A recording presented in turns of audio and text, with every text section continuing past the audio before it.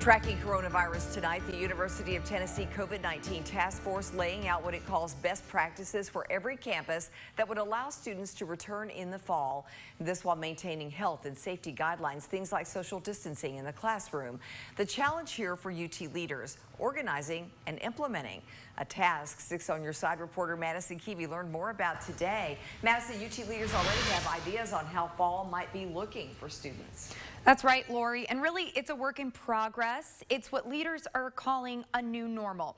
UT Knoxville Chancellor Donde Plowman tells me the challenge is how they implement the necessary changes in the timeline they have by the fall. The leaders are up against the clock, so to speak. Plowman tells me they're asking departments and faculty to plan curriculum that can be offered in all forms, face-to-face, -face, online, or a mix of both without compromising.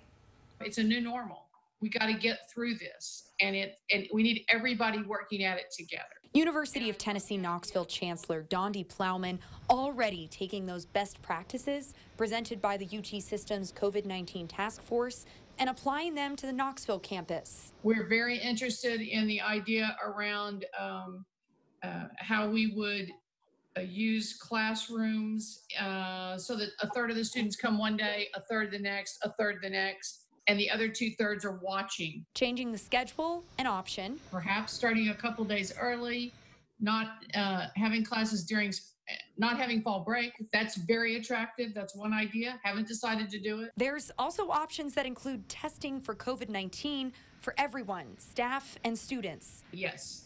We want students tested before they move into dorms.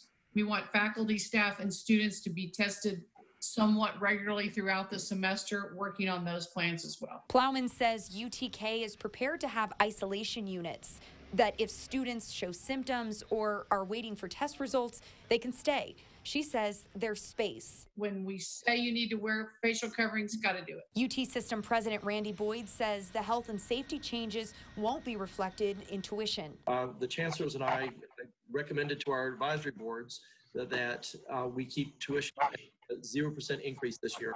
The advisory boards uh, deliberated and uh, agreed and recommended that back to me. I'm now re recommending that to the Board of Trustees in June. Now, both Plowman and Boyd are adamant that for any of these plans to be successful, it will take the entire UT community taking part, like wearing masks and keeping social distance.